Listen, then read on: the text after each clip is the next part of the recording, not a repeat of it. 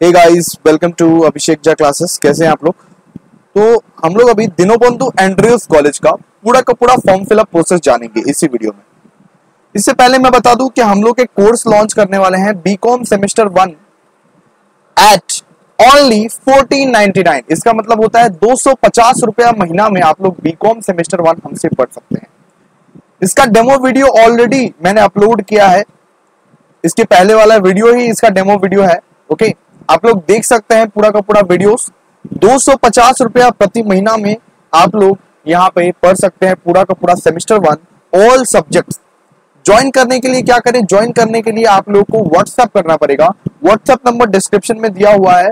फिर भी मैं बता देता हूँ, आप लोग लिख लीजिए eight nine one zero four double nine two two nine ठीक है? सेमेस्टर वन का ऑल सब्जेक्ट यहाँ पे कराया जाएगा। बीकॉम सेमेस्टर वन का ऑल सब्जेक्ट यहाँ पे कराया जाएगा, ठीक है? चलिए, अब देखते हैं दिनोबंधु एंड्रयूस कॉलेज के लिए। सबसे पहले आप लोगों को गूगल में सर्च करना पड़ेगा दिनोबंधु एंड्रयूस कॉलेज। उसके बाद ये वेबसाइट पे आप लोग को क्लिक कर देना पड़ेगा।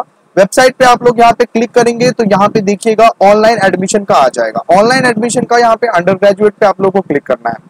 अंडर ग्रेजुएट पे क्लिक करने के बाद यहाँ पे सबसे पहले आप लोग को स्क्रोल करके इसको नीचे आ जाना है। ठीक है? यहाँ पे अप्लाई ऑनलाइन पहले करना है। अप्लाई ऑनलाइन के ऊपर क्लिक कर दीजिए। अप्लाई ऑनलाइन के ऊपर क्लिक करके यहाँ पे आई अंडरस्टैंड एंड एग्री पर आप लोग यहाँ पे क्लिक कीजिए। कंटिन्यू कीजिए इसके ऊपर। उसके बाद आप लोग देख लीजिए, आप लोगों को are you existing applicant in the college यहाँ पे यस कर देंगे। यहाँ पे नो कर देंगे, क्योंकि आप लोग न्यू एप्लीकेंट नहीं है। ठीक है? आप लोग न्यू एप्लीकेंट है। सबसे पहले आप लोगों को इधर व्हाट्सएप नंबर डालना पड़ेगा तो व्हाट्सएप नंबर यहाँ पे आप लोग अपना डाल देंगे बिल्कुल अच्छे से। इसके बाद आधार नंबर डालना पड़ेगा। आधार नंबर आप इसी नंबर पे मुझको डीएम कर सकते हैं, यहाँ पे इसी नंबर पे मुझको डीएम कर सकते हैं। आप लोगों को अगर एडमिशन चाहिए होगा व्हाट्सएप कीजिएगा बाबू फ़ोन मत कीजिएगा व्हाट्सएप कीजिएगा। यहाँ पे देखिए आधार नंबर यहाँ पे आप लोगों को डालना पड़ेगा। तो आधार नंबर यहाँ पे अपना डाल दीजिएगा। कोई भी, जो भी आपका आधार नंबर है, उसके बाद फ़र्स्ट एंड मिडिल नेम आपका डालना है। फ़र्स्ट एंड मिडिल नेम क्या है? जैसे मेरा मेरा फ़र्स्ट नेम है अभिषेक, आप लोग कैप्स लॉक का यूज़ कीजिएगा। मैंने तो छोटा लेटर में लिख दिया, लेकिन आप लोग कैप्स लॉक का यूज़ कीजिएगा। लास्ट नेम डालिएगा लास्ट नेम यहाँ पे मेरा झा। उसके बाद देखिए आप लोग कौन से सिटी से आए हो, वो सिटी लिखना ज़रूरी है। जैसे कोई झारखंड से आता है तो झारखंड लिखना ज़रूरी है। उसके बाद रजिस्टर्ड विद कैलकाटा यूनिवर्सिटी तो यहाँ पे आप लोग को नो कर देना है सिंपली नो कर देना है। नो का ऑप्शन में क्लिक करना है। अपियर्ड पार्ट वन एग्ज़ाम यहाँ पे भी नो कर देना है सिंपल बात है। इसके बाद देखिए, इसके बाद यहाँ पे नेम ऑफ़ द एग्जामिनेशन जैसे एच एस लिखा रहेगा तो हायर सेकेंडरी आप लोग लिख सकते हैं इसका। उसके बाद देखिए, यहाँ पे लिखा रहेगा, आप कौन से कैटेगरी के हो? तो मैं यहाँ पे जनरल सेलेक्ट कर ले रहा हूँ। अगर एस सी हो तो एस सी सेलेक्ट कर लेना। तो ठीक है। उसके बाद यहाँ पे इसके बाद यहाँ पे देख लो कास्ट वैलिड सर्टिफिकेट आपके लिए एप्लीकेबल नहीं है, क्योंकि आप लोग अगर जनरल हो तो कोई कास्ट सर्टिफिकेट नहीं है। डिसेबिलिटी अगर है तो यहाँ पे लिख सकते हो डिसेबिलिटी नहीं है तो कोई दिक्कत है नहीं। यहाँ पे देखिए बोर्ड काउंसिल कौन से बोर्ड से परीक्षा दिए हो तुम? देखो, जैसे कि बहुत कोई वेस्ट बंगाल बोर्ड से परीक्षा देता है तो वेस्ट बंगाल बोर्ड हम लोग लिखेंगे सीधा। सर्च करके लिखेंगे सर्च नीचे में रहेगा वेस्ट बंगाल बोर्ड ठीक है? यहाँ पे west Bengal council of higher secondary education, इस पे हम लोग क्लिक करेंगे, ठीक है? Higher secondary, not secondary, okay? यहाँ पे pass from non formal education, यहाँ पे नो कर देना है, सिंपली अगर नॉन फॉर्मल एजुकेशन से तुम पढ़े हो तो ऑफकोर्स करना है। यहाँ पे रोल नंबर आपको डाल देना है यहाँ पे तो रोल नंबर आप लोग यहाँ ऐसे करके रोल और नंबर बाइफरकेट करके एडमिट कार्ड पे रहता है, वो लोग आपको डालना है, ठीक है? इसके बाद नेक्स्ट आप लोग दबा देंगे। नेक्स्ट नेक्स्ट यहाँ पे ऑप्शन में आएगा तो नेक्स्ट में आप लोग क्या करना है? एड सब्जेक्ट फ्रॉम लिस्ट तो आप लोग को अपना अपना सब्जेक्ट डालना है। देखिए देखिए जैसे पहला सब्जेक्ट हम लोग क्या चूज़ करेंगे? पहला सब्जेक्ट ओके पहला सब्जेक्ट हम लोग यहाँ पे आ, सबसे पहले देखिए फ़र्स्ट लैंग्वेज के बेसिस पे आप लोग चूज़ कीजिएगा। फ़र्स्ट लैंग्वेज में क्या है आपका? जैसे फ़र्स्ट लैंग्वेज में किसी किसी का बंगाली रहता है तो इंग्लिश रहता है तो ऐसे ऐसे करके चूज़ कीजिएगा। हंड्रेड मार्क्स का फुल मार्क्स रहेगा ऑप्टेंड मार्क्स आप लोगों को कितना मिला है? जैसे ऑप्टेंड कितना है, हिंदी में आप लोगों को कितना मिला है? मान लीजिए हिंदी में आप लोगों को 76 मिला है तो डायरेक्टली लिख देना 76 इसके बाद देखो, इसके बाद हम लोग यहाँ पे ऐड वापस करेंगे ऐड सब्जेक्ट इसके बाद इंग्लिश सर्च कर लेना। यहाँ पे देखो इंग्लिश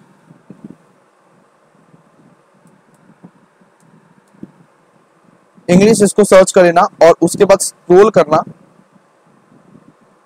यहाँ पे डायरेक्ट इंग्लिश यहाँ पे लिखा हुआ है, इसको सेलेक्ट करके यहाँ पे अपने मार्क्स इंग्लिश का भी मार्क्स यहाँ पे बिठाना है। जैसे मैंने यहाँ पे 86 बिठा दिया, ठीक है? 86 में यहाँ पे बिठा रहा हूँ इंग्लिश का मार्क्स तो इस तरह से आप लोग को यहाँ पे बिठाना है, ठीक है?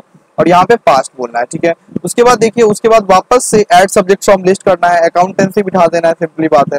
अकाउंटेंसी आप लोग बिठा देंगे तो अकाउंटेंसी में आप लोग को जितना मिला होगा, उतना आप लोग लिखिएगा। जैसे 80 आपको मिला है 80 आपको मिला है तो 80 आप लोग लिखिएगा सीधा। पास्ट डायरेक्टली दिखा दे रहा है।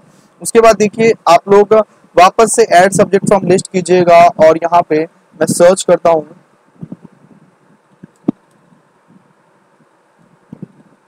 सर्च वाला भी ऑप्शन है, यहाँ पे देखिए, आप लोग सर्च कर सकते हैं। मैं यहाँ पे सर्च करता हूँ बिज़नेस स्टडीज़ बिज़नेस स्टडीज़ अगर सर्च कीजिएगा तो यहाँ पे देखिए बिज़नेस स्टडीज़ आप लोग को सर्च करके यहाँ पे डाल देना पड़ेगा। सिंपल बात है ओके मतलब डन में करना पड़ेगा। और यहाँ पे मान लीजिए आप लोग को 90 मिला है तो 90 लिखिएगा इधर, ठीक है? इसके बाद देखिए, इसके बाद हम लोग यहाँ पे पांचवा सब्जेक्ट अपना लेंगे फिफ्थ सब्जेक्ट लेंगे। फिफ्थ सब्जेक्ट मान लीजिए कॉस्टिंग एंड टैक्सेशन है आपका तो कॉस्टिंग एंड टैक्सेशन यहाँ पे डायरेक्टली सर्च कर लेना है।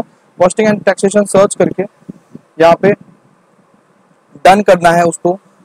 ऑफ़ कोर्स इसको डन करने के बाद आप लोग देखिए, इसका मार्क्स बिठाना है। मार्क्स यहाँ पे मान लीजिए 80 मिला है तो आपको 80 बिठाना है इधर। 80 बिठा के यहाँ पे डायरेक्टली आपको पाँच सब्जेक्ट है तो पाँच सब्जेक्ट डालेंगे, छह सब्जेक्ट है तो छह सब्जेक्ट डालेंगे, बेटा।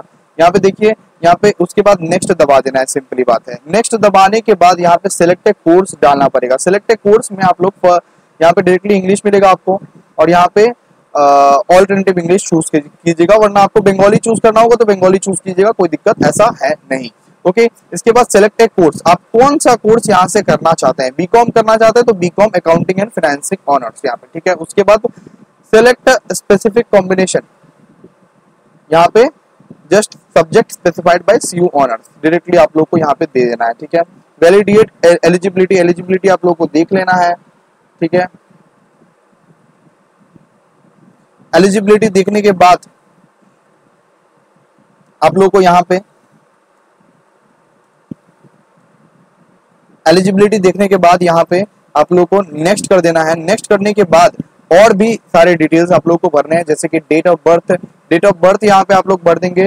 डेट ऑफ़ बर्थ आप लोग सही सही से भरना, वरना गलत हो जाएगा तो फिर पंगा हो सकता है तुम्हारे साथ। उसके बाद देखो कंट्री इंडिया ही रहेगा और यहाँ पे गार्जियन मोबाइल नंबर आप लोग दे देंगे, कुछ भी अपने अपने गार्जियन का मोबाइल नंबर गार्जियन पापा भी हो सकता है, मम्मी भी हो सकता है आपका ओके यहाँ पे देखिए नेशनलिटी इंडियन सी रहे। उसके बाद आप लोग कुछ भी एक ईमेल आईडी यहाँ पे दे सकते हैं। ईमेल आईडी जो आपका ऑफिशियल रहेगा, वही ईमेल आईडी दीजिएगा, वरना आपका मेल नहीं आएगा कॉलेज का, ठीक है? इसके बाद हिंदुज्म रिलीजन है फादर्स नेम जो भी है तो फादर्स नेम आप लोग को यहाँ पे डाल देना है सिंपली और फादर्स नेम डालने के बाद यहाँ पे आपका ब्लड ग्रुप डालना है, जैसे किसी का ओ प्लस है तो ओ प्लस ही डालेंगे। उसके बाद देखिए, यहाँ पे फादर्स ऑक्यूपेशन सर्विस करते हैं सर्विस बिज़नेस करते हैं, या तो कुछ और काम करता है तो कुछ और काम ओके यहाँ पे देखिए, हम लोग अब यहाँ पे लिख रहे हैं एड्रेस है। एड्रेस यहाँ पे आप लोग लिख सकते हैं।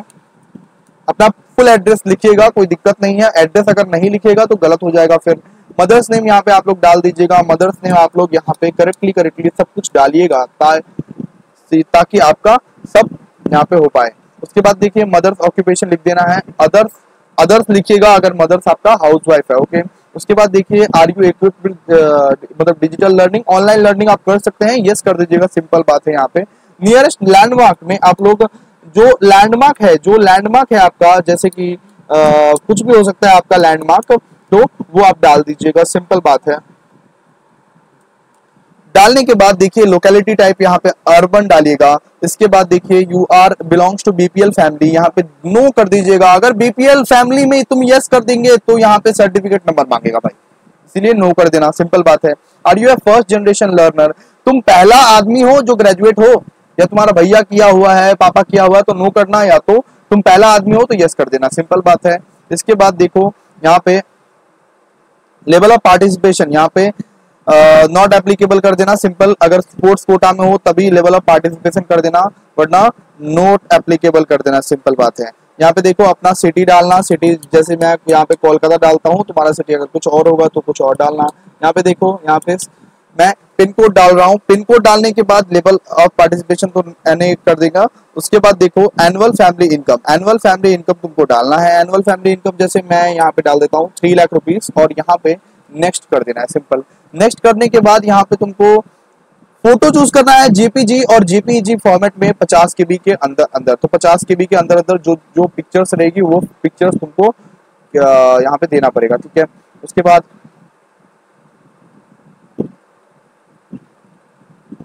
तो यहाँ पे देखो, ये हम पिक्चर्स डाल सकते हैं।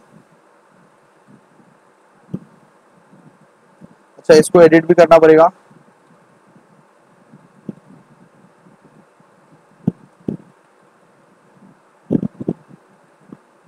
यहाँ पे देखो, इस तरह से, इस तरह से हम लोग कुछ भी फ़ोटो यहाँ पे डाल सकते हैं। कुछ भी कुछ भी मत डालना बट मैं ही मैं ही डाल रहा हूँ। यहाँ पे फ़ोटो डालना, उसके बाद देखो यहाँ पे सिग्नेचर डालना। सिग्नेचर इस तरह से आप लोग डाल सकते हैं, ठीक है? सिग्नेचर डाल देना। यहाँ पे एडमिट कार्ड का प्रूफ डालना एडमिट कार्ड का कुछ भी ऐसे प्रूफ डाल देना यहाँ पे, ठीक है? मार्कशीट डालना। 150 केबी के अंदर अंदर रहना चाहिए मार्कशीट ठीक है? 150 केबी के अंदर अंदर मार्कशीट रहना चाहिए, ठीक है? मैं तो कुछ भी यहाँ पे डाल डाल के तुमको दिखा रहा हूँ ताकि कास्ट सर्टिफिकेट अगर तुम्हारे लिए एप्लीकेबल है, तभी डालना, वरना मत डालना सिंपली ये सब तुमको डालने का ज़रूरत नहीं है यूनिवर्सिटी सर्टिफिकेट इफ़ एप्लीकेबल ये एप्लीकेबल एप्लीकेबल कुछ नहीं है। बीपीएल सर्टिफिकेट रहेगा तो डाल देना माइग्रेशन सर्टिफिकेट रहेगा तो डाल देना, वरना ऐसे नहीं डालना, ठीक है? माइग्रेशन उसके बाद आई डू हेयर बाई ये टिक कर देना है सिंपली ये बॉक्स में टिक कर देना है। टिक करने के बाद सबमिट कर, का बटन यहाँ पे दबा देना है। सबमिट का बटन दबाने के बाद तुम्हारे पास एक ओटीपी घुसेगा। वो ओटीपी को जरा ध्यान से। ओटीपी बाद में आता है थोड़ा सा। थोड़ा सा लेट भी आ सकता है। इसके लिए थोड़ा सा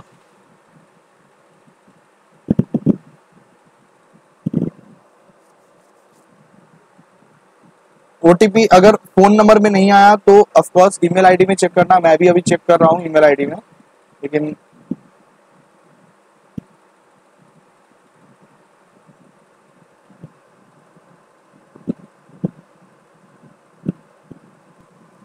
यहाँ पे देखिए दोस्तों, मैं ओटीपी देने की तो ट्राई किया हूँ, लेकिन यहाँ पे ओटीपी नहीं आ रहा है मेरे फ़ोन में। तो जस्ट आपको क्या करना है ओटीपी दे के आप लोगों को जस्ट एक फॉर्म निकलेगा, वो फॉर्म को आप लोगों को जस्ट प्रिंट करा कर निकाल लेना है, बस इसका एडमिशन प्रोसेस यहीं पे खत्म हो जाएगा। कोई कारणवश से मैंने ईमेल आईडी गलत डाला था, इसीलिए ओटीपी यहाँ पे नहीं आया।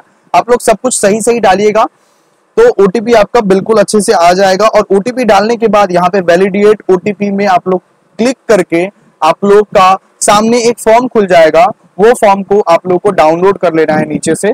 बस आपका एडमिशन प्रोसीड्योर खत्म हो आपका form fill up procedure Dinobandhu Andrews college में खत्म हो जाएगा। ठीक है दोस्तों? मिलते हैं नेक्स्ट वीडियो में। तब तक के लिए बाय और सॉरी ओटीपी नहीं आया, इसलिए मैंने नहीं दिखा पाया इसकी फर्दर प्रोसेस लेकिन इसका फर्दर प्रोसेस कुछ है नहीं, ज़्यादा कुछ। चलिए।